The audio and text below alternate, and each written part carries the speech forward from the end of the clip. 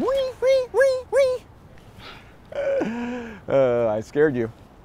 All right, guys. Well, I'm here back in New York, baby. Back from the COVID vacation.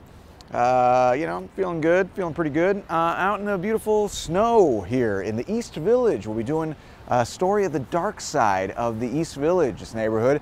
Great place. I used to live here, no big deal.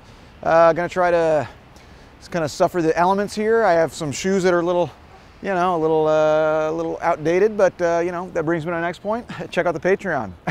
I could use some new shoes. Uh, Patreon, you got some extras on there, whatever, check it out. Uh, also too, subscribe. If you see more than one of these videos, just subscribe already. Good Lord, helps me out a lot. Not very hard to do, and like the thing. Give it a little thumbs up, bumps it in the old YouTube thing, gets me pumped up ahead of all those cats falling in cardboard boxes and videos like that. So anyways, that's pretty much all the business. Uh, Eric, how the hell are you, huh? Doing great. Good. I'm ready, man. I'm ready. It was a nice little vacation. I'm here in Astor Place.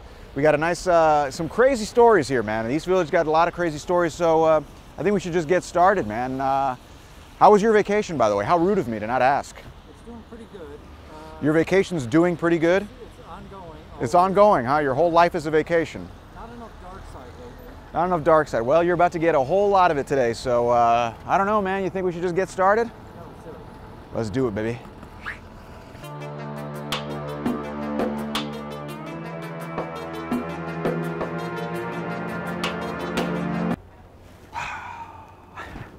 Check out my sick gloves, huh? I got these at uh, some little shop here in, uh, you know, in St. Mark's in the East Village, where they also do tattooing and body piercing. Got these, and it's freezing outside. That's why I did it. But we're, we're out here anyway because uh, we love you. Anyways, I'm at our first stop, and this is in Tompkins Square Park. We're in front of the General Slocum Memorial Fountain. Uh, this is to commemorate the victims of a disaster that happened in 1904, which everyone who's been to New York or has even thought of New York should know about because it's one of the biggest tragedies in New York history. Anyways, the story goes that, first of all, this neighborhood used to be Klein Deutschland. Huh? There was a huge wave of Klein Deutschland. That's right. Ich spreche ein bisschen Deutsch. Eh.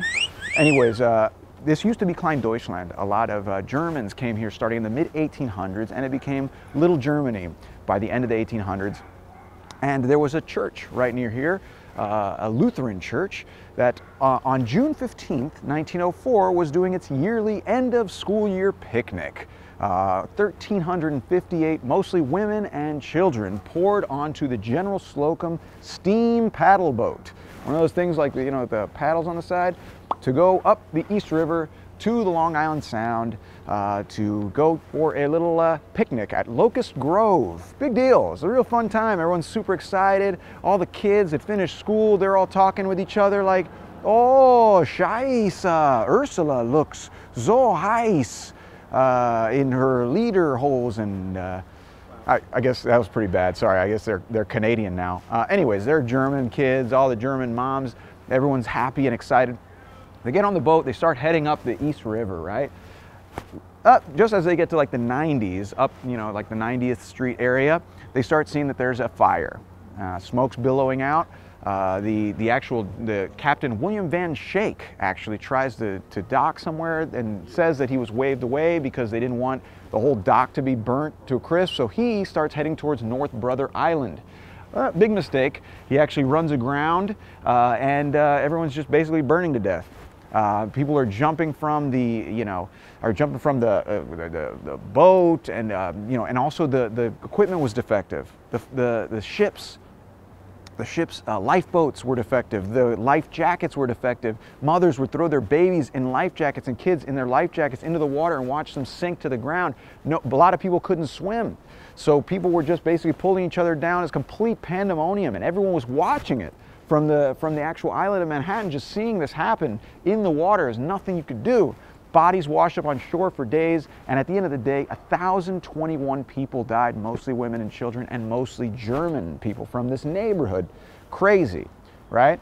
And all of that happened because of this guy, William Van Schaick, and his decision to head towards North Brother Island. But you know what I mean. It was one of the worst disasters in New York history, the worst loss of life in a single day in New York history before 9 11. Uh, and it was all what devastated this neighborhood. In fact, this neighborhood uh, kind of disappeared. A lot of the Germans moved to either Brooklyn or Yorkville in the Upper East Side, uh, Midtown area. So uh, pretty terrible. And this was all the General Slocum uh, disaster. Uh, the, the, actual captain was uh, convicted of criminal negligence, since the 10 years, but he only served four because William Howard Taft pardoned him. You know, what can you do? It's pretty sad. It all happened on the General Slocum on June 15th, 1904. I don't know, that whole, uh, that whole story gives me the Steamboat Willies, if you will. That was, was that bad? No. Sorry. Sorry, that uh, joke was a tragedy in itself. Uh, but on that note, let's head to the next stop. What do you think, Eric? Let's do it. Do you forgive me for the Steamboat Willies thing? I'll work on it. All right, let's do it.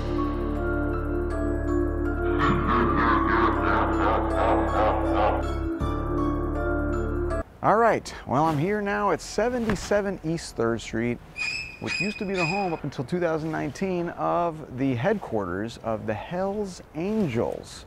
In case you don't know, the Hells Angels are a motorcycle gang that started in California in the late 1940s. A guy who'd come back from World War II, rode around in his Harley. He actually defected from his motorcycle gang, which was called the Pissed Off Bastards.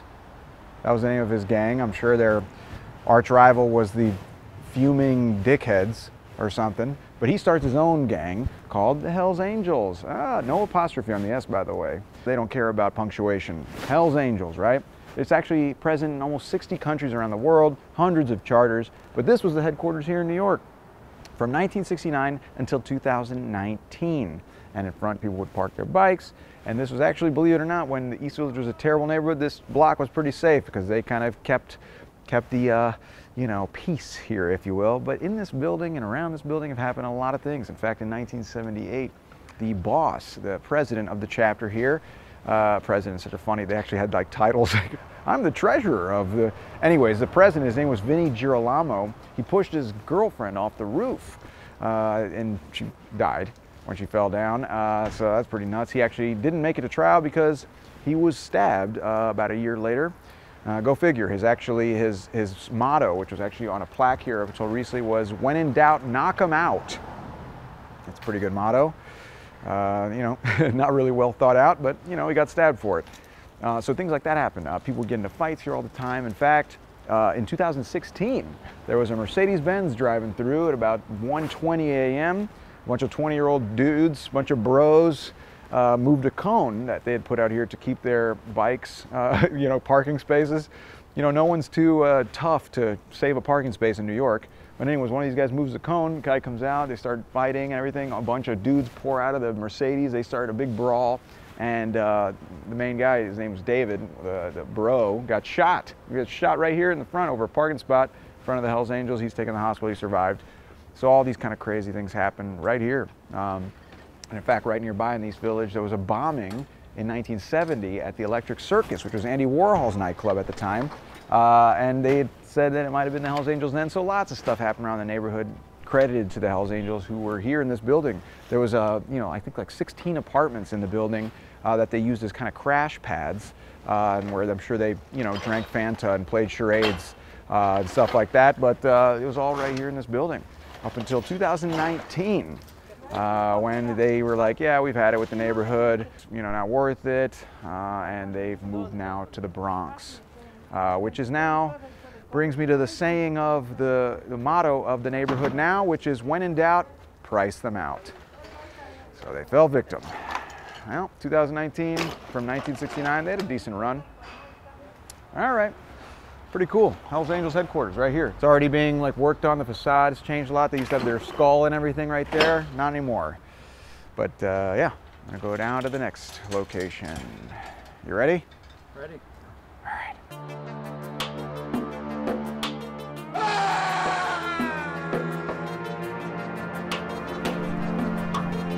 All right, look at that. Nice little uh, spot here with a little T uh, to tell you the next story here at 700 East 9th Street. This is the story of Daniel Rakowitz. Uh, so this guy's story, and also too, a very grisly murder, you know, stay tuned. So anyways, he moves here in the 1980s. He's a total like drifter and psycho. Uh, he, he, hangs out a lot in Tompkins Square Park, uh, and he actually started his own cult Uh, no one joined it because the guy had no charisma, and you know, starting a cult with no charisma is like trying to become a basketball player when you're only five feet tall and have no limbs. But anyways, the guy uh, moves in here with a couple. Uh, they eventually want to move in together in a new place, so uh, they want to leave it to him on the on the uh, lease, but not going to give it to him. The lease isn't going to be transferred to him because the guy's a nobody. He's a drifter, a loser, whatever. Luckily for him, he meets a woman in Tompkins Square Park named Monika Beerle. Right? She's a Swedish dancer. Huh? She danced at two of the finer dancing institutions in New York, Martha Graham and Billy's Topless in Chelsea. Uh, and she moves in. And the, you know the, the couple actually thought she had her eye on the apartment because he wanted to sign her onto the lease, so he was able to get the apartment, which he did. Go figure. A couple weeks after she moves in, at the beginning of August, she uh, tries to kick him out. Well, love, love lasted very short, short-lived love there, only a few weeks. He's freaking out. He doesn't want to be homeless again. He doesn't, he doesn't know what to do, uh, and he murders her. He strangles her in the apartment here, right? That's not where it ends. What he also did was he started dismembering her in the bathtub. He, he uh, took her head off and boiled it and made a soup and ate it. And if that wasn't bad enough, he went down to Tompkins Square Park and fed the homeless people in Tompkins Square Park the soup made from this Swedish dancer's head.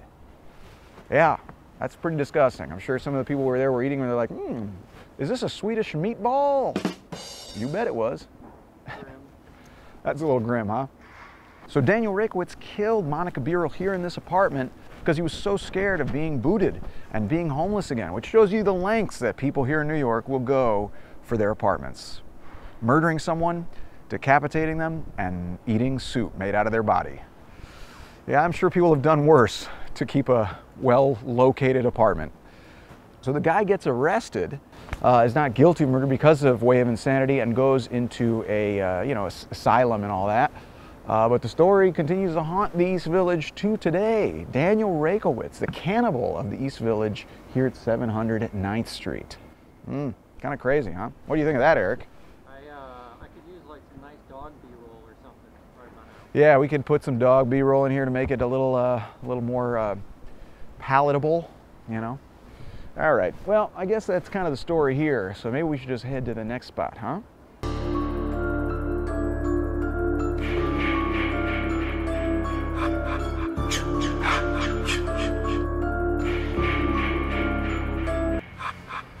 All right, we're at our next stop here at Abe Lebewohl Park. Okay, so this park is named after a man named Abe Lebewohl who opened the Second Avenue Deli right across the street where that Chase Bank is located. He opened it in 1954. He was an immigrant. He came here, uh, his dad was shipped off to Siberia. He was a Holocaust survivor. Can you imagine being his son complaining about anything? Dad, I can't concentrate in social studies. Oh, really? Well, I survived Auschwitz. Shut up. But anyways, real tough guy, right? So he comes here, he opens the Second Avenue Deli in 1954, becomes the mayor of Second Avenue, it becomes a really popular spot. It originally was uh, 10 seats and it grew to 250 seats. Uh, people like Joe DiMaggio, Joan Rivers, Muhammad Ali, Bob Hope, those were some of the people that came through this place. But on March 4th, unfortunately, 1996, he was gunned down in broad daylight uh, in the morning uh, so what happened was he came at 7 a.m. like he normally did, started to set everything up, and he was taking the, the previous day's deposits to deposit them at his bank further south down 2nd Avenue uh, around 4th Street. And apparently what happened was he got out of the car and two people were already waiting for him. They pushed him back into the car and shot him uh, and drove off. And they abandoned the car on 1st Avenue and that is where he staggered out of the car apparently and fell to the sidewalk uh, saying that he had been shot. Uh, and he died that day, 64 years old, Abe Lebewohl, who was a very popular neighbor uh, here to the people in the East Village. Uh, he was known to give the homeless people free meals. He had, he had given uh, money to his uh, employees to help whenever they needed it. A really good guy. and his actual nephews took over the restaurant uh, until 2006 when they moved to a different part of New York, but it's still around actually in Midtown. Uh, they have a Second Avenue Deli, really good actually. Uh, I really recommend it. Uh, and today, unfortunately, uh, to add insult to injury, the spot where his deli was located is a bank, a Chase, a Chase bank. The reason they left was because the rent got so high. Their rent was, was going to be raised from $24,000 a month to $33,000 a month. Uh, yeah, it looks like banks killed the uncle and the restaurant, unfortunately. Uh, but all this here area is, uh, is, I guess, the site of what was what is still a cold case. They never found uh, Abe Lebewohl's killers, unfortunately. And today, they've just recently, a couple years ago, reopened the case. Uh, and they're offering $150,000 for any information linked to that murder. So if you have any information uh, linked to Abe Lebewohl's uh, murder, please let me know. And I will see to it that the correct uh, authorities get that information. Uh, yeah.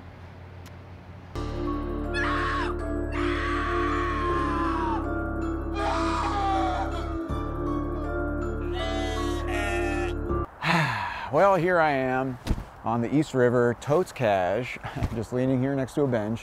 No big deal. Uh, yeah, we made it through the entire little uh, little neighborhood here. Told some crazy little dark stories. Uh, you know, I actually did a video on East Village, so if you really want to learn more about the history and all that, want to check that, that video out. Uh, yeah, never too late for one of those. But uh, yeah, I'm over here next to the East River.